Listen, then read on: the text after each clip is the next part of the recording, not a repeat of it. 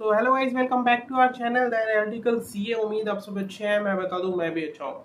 तो इस वीडियो में हम बात करेंगे एक टॉपिक पे कि बच्चे कुछ बच्चे बोल रहे हैं कि उनकी पढ़ाई नहीं हो रही है, पढ़ने का नहीं हो पा रहा है अब आखिरी के 24 25 जाने वाले एक महीना, पैंतीस दिन बचे हैं और आपकी पढ़ाई नहीं हो रही है। ये काफ़ी बच्चों का बोल रहे हैं, पढ़ा नहीं जा रहा, पढ़ने का नहीं हो रहा, पढ़ने को बैठा नहीं जा रहा, और something something like that these kind of question are coming की पढ़ाई नहीं हो पा रही, इतना आउटपुट नहीं आ रहा।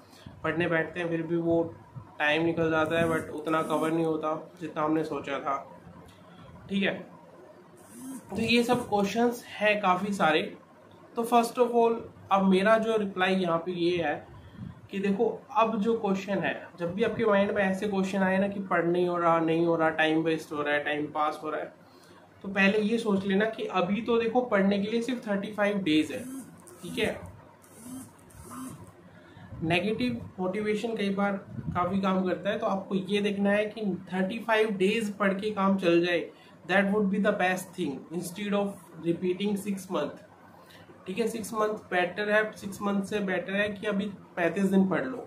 ठीक है तो पैंतीस दिन, चाहे तो मैं जैसे भी पढ़ना है, पढ़े, पढ़ो मोटिवेशन की ज़रूरत नहीं पढ़नी चाहिए आप। पैंतीस दिन है तो मैं खुद पता होना चाहिए कितना कम टाइम बचा है तो मोटिवेट मोटिवेशन की ज़रूरत नहीं है डिसिप्लिन का टाइम है। है डिसिप्लिन भी मोटिवेशन से ऊपर जाता है।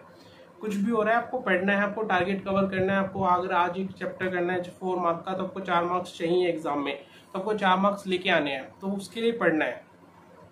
ठीक है तो ये नहीं है कि आपको मोटिवेशन ढूंढना पड़े अब इस टाइम पे। लास्ट के पैंतीस दिन में कहाँ मोटिवेशन आप छुट्टी लेके बैठे हो जॉब से या जो भी अगर आप पहले भी पढ़ रहे थे तो पढ़ने के लिए आपको यहाँ पे मोटिवेशन की ज़रूरत नहीं, यहाँ पे डिसिप्लिन दिखाना है अपना, ठीक है? ये लास्ट के ती जो एक महीना होता है, जो पढ़ जाता है ना एक महीने, जो अच्छे से कर जाता है, उसका निकल जाता है इजिली निकल जाता है।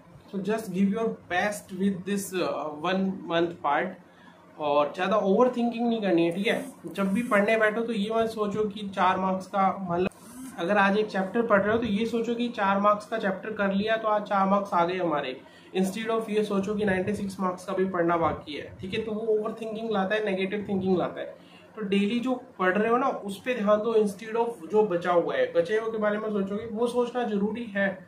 बट जब प्लानिंग करते हो तब नॉट डेली बेसिस पे। पढ़ने बैठ रहे हो आप चार मार्क का पेपर और आपके दिमाग में आ रहा है कि अभी नब्बे मार्क का पढ़ा है, कैसे होगा, खत्म ही नहीं हो पाएगा, अब टाइम ही नहीं बचा, ये वो फलाना निकाला इन चीज़ों को साइड में रख के आपको एग्ज़ाम के लिए पढ़ना है और एग्ज़ाम के पॉइंट ऑफ़ व्यू से पढ़ना है कि थर्टी फाइव डेज़ अपना बेस्ट दे दो, उसके बाद तुम्हें छः महीने तुम्हारे इन्जॉय करना सैलरी भी मिलेगी, पैसे का भी नुकसान होता है अटैम्प्ट देखो माइंड सेट तो वैसे ही परेशान होता है तो you know that very well तो जब भी ऐसी चीज़ें आए ना कि पढ़ाई नहीं हो रही या ये नहीं हो रहा तो पहले अपने माइंड में ये लाओ कि थर्टी फाइव डेज़ और six month which one you prefer to study focus on your thirty five days instead of whatever thinking सोचना ही नहीं उस बारे में। ये पैंतीस दिन अपना बेस्ट दो और आराम से निकल जाएगा। जस्ट गिव योर बेस्ट ठीक है?